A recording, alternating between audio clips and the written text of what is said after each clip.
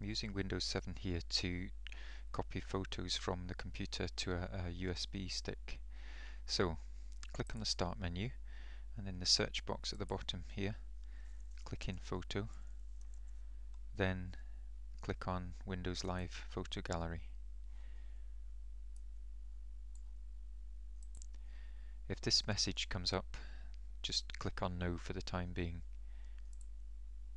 Then as you move the mouse over the photos there's a tick box appears and you can click on that to select the photos that you would like to copy onto the USB stick.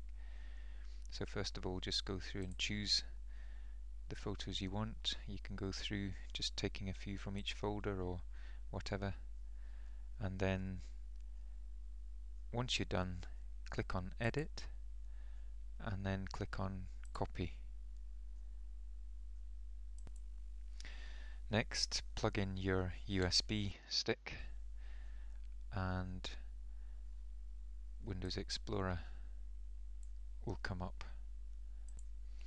or you might get a box come up um, with various options where you click on open folder to view files and then it'll come up onto this screen once that comes up click on the edit menu click on paste